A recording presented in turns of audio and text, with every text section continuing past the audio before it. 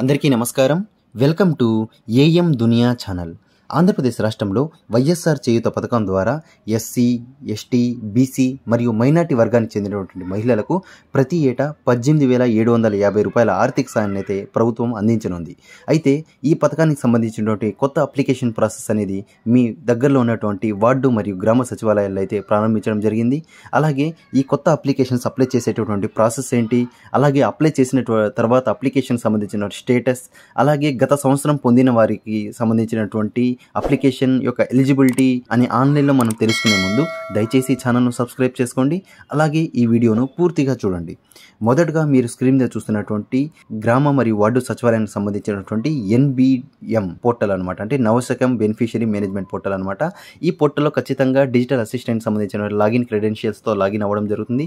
అలా లాగిన్ అయిన తర్వాత మనకి ఎన్బిఎం స్కీమ్స్ మాడ్యూల్లో మనకి వైఎస్ఆర్ చేతికి సంబంధించినటువంటి ఆప్షన్ అయితే సెలెక్ట్ చేసుకోవాలి.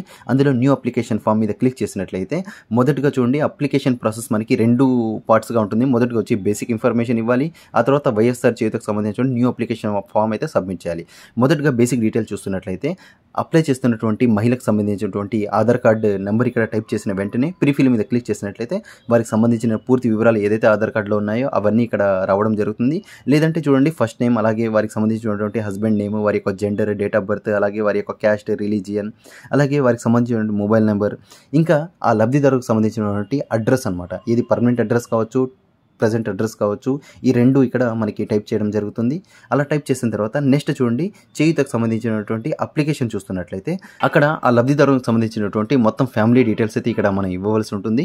ఆ ఫ్యామిలీ డీటెయిల్స్ ఇచ్చిన తర్వాత ఈ లబ్ధి పొందినటువంటి అమౌంట్ ఏదైతే ఉందో అది క్రెడిట్ అవ్వడానికి ఖచ్చితంగా బ్యాంక్ అకౌంట్ అయితే వివరాలు ఇవ్వవలసి ఉంటుంది. ఆ బ్యాంక్ అకౌంట్ సంబంధించినటువంటి అకౌంట్ నెంబరు మరియు ఐఎఫ్సిఎస్ కోడ్ కొట్టిన వెంటనే మనకి ఆ బ్యాంక్ యొక్క వివరాలు అయితే రావడం జరుగుతుంది. నెక్స్ట్ ఆధార్ అప్డేట్ హిస్టరీ అనమాట ఖచ్చితంగా కొత్తగా అప్లై చేసేటటువంటి మహిళలు ఆధార్ అప్డేట్ హిస్టరీని అయితే ఇవ్వవలసి ఉంటుంది.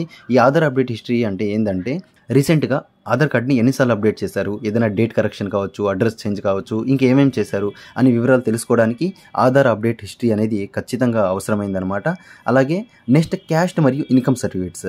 ఎవరైతే ఈ ఇయర్ కొత్తగా అప్లై చేస్తున్నారో వారు ఖచ్చితంగా మీ సచివాలయం ద్వారా క్యాస్ట్ మరియు ఇన్కమ్ సర్టిఫికేట్లను అప్లై చేసుకొని అలా అప్లై చేసుకున్నటువంటి సర్టిఫికేట్ సంబంధించిన జిరాక్స్ కాపీస్ కూడా సబ్మిట్ చేసినట్లయితే ఆ క్యాస్ట్ ఇన్కమ్ సర్టిఫికేట్ సంబంధించిన నెంబర్స్ ఇక్కడ టైప్ చేసిన వెంటనే మీకు సంబంధించినటువంటి క్యాస్ట్ మరియు ఇన్కమ్ వివరాలు ఇక్కడ రావడం జరుగుతుంది. అలా వచ్చినటువంటి వివరాలు ద్వారా అప్లికేషన్ అయితే కంటిన్యూ చేయడం జరుగుతుంది అనమాట ఇంకా అప్లికేషన్ ప్రాసెస్ అయితే కంప్లీట్ అయింది. ఇంకా ఫైనల్గా ఎవరైతే అప్లై చేస్తున్నారో ఆ లబ్ధిదారునికి సంబంధించినటువంటి తమ్ ఇంప్రెషన్ కావచ్చు లేదా ఐరిస్ ద్వారా కావచ్చు లేదా ఆధార్ ఓటీపీ ద్వారా కావచ్చు వెరిఫికేషన్ కంప్లీట్ చేసి అప్లికేషన్ అయితే సబ్మిట్ చేయడం జరుగుతుంది అనమాట మొత్తం ఈ ప్రాసెస్ అయితే అప్లికేషన్ ఎలా అప్లై చేసుకోవాలనేది మనం చూసాము. నెక్స్ట్ చూస్తున్నట్లయితే ఏ డాక్యుమెంట్ సబ్మిట్ చేయాలి? నేను ఆల్రెడీ ఇంతకుముందు వీడియోలో కూడా చెప్పడం జరిగింది. నేను మళ్ళీ చెప్తున్నాను చూడండి. ఈ వైఎస్ఆర్ చేయుతకు అప్లై చేసుకోవడానికి కావాల్సినటువంటి ముఖ్యమైన డాక్యుమెంట్ చేస్తున్నట్లయితే ఆధార్ కార్డ్ ఖచ్చితంగా సబ్మిట్ చేయాలి. అలాగే ఆధార్ అప్డేట్ హిస్టరీ ఇక్కడ సబ్మిట్ చేయవలసి ఉంటుంది. నేను ఇంతకుముందు ఒక వీడియో చేయడం జరిగింది. మీ ఆధార్కి సంబంధించినటువంటి ఆధార్ అప్డేట్ హిస్టరీ ఎలా డౌన్లోడ్ చేసుకోవాలో మీరు చూసి తెలుసుకోవచ్చు. నెక్స్ట్ మీకు సంబంధించినటువంటి రైస్ కార్డ్ జిరాక్స్ ఇవ్వాలి. అలాగే ఆధార్కి లింక్ చేసినటువంటి బ్యాంక్ అకౌంట్ జిరాక్స్ కూడా ఇక్కడ సబ్మిట్ చేయవలసి ఉంటుంది. నెక్స్ట్ ఏదైతే ఆధార్ కార్డ్కి లింక్ అయిందో ఆ మొబైల్ నెంబర్ అయితే మీరు ఇక్కడ రాసి ఇవ్వవలసి ఉంటుంది. నెక్స్ట్ క్యాస్ట్ ఇన్కమ్ సర్టిఫికేట్స్ రీసెంట్గా అప్లై చేసినటువంటి మాత్రం ఖచ్చితంగా ఇవ్వవలసి ఉంటుంది. నెక్స్ట్ రీసెంట్గా ఏదైతే మీకు ఎలక్ట్రిసిటీ బిల్ వచ్చిందో ఆ బిల్లుకి సంబంధించినటువంటి జిరాక్స్ కాపీ కూడా మీరు ఇవ్వవలసి ఉంటుంది అనమాట ఇవి మొత్తం కావాల్సినటువంటి ముఖ్యమైనటువంటి డాక్యుమెంట్స్ అనమాట నెక్స్ట్ ఆల్రెడీ మీరు అప్లికేషన్ సబ్మిట్ చేశారు ఆల్రెడీ కంప్లీట్ అయింది లేదా ఇంకా ఎవరైనా అప్లై చేస్తున్నారు లేదా ఆల్రెడీ లాస్ట్ ఇయర్ అమౌంట్ వచ్చింది మూడో విడత కోసం కొంతమంది ఎదురు చూస్తుంటారు.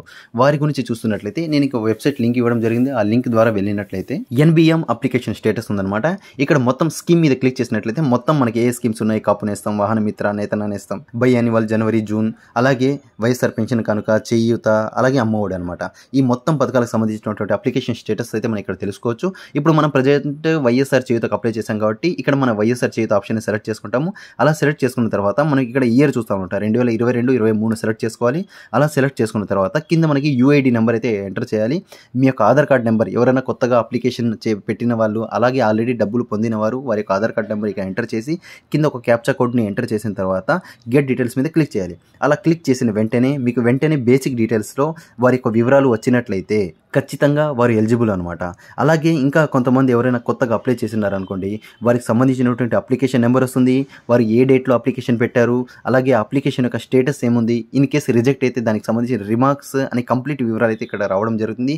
వన్స్ ఈ అప్లికేషన్ ప్రాసెసెస్ అంతా కంప్లీట్ అయిన తర్వాత అలాగే రెన్యువల్ అయిన తర్వాత మనకి ఇక్కడ పేమెంట్ రిలీజ్ చేసిన తర్వాత కూడా మనకి ఆ పేమెంట్ స్టేటస్ కూడా మనం ఇక్కడ చూసుకోవచ్చు.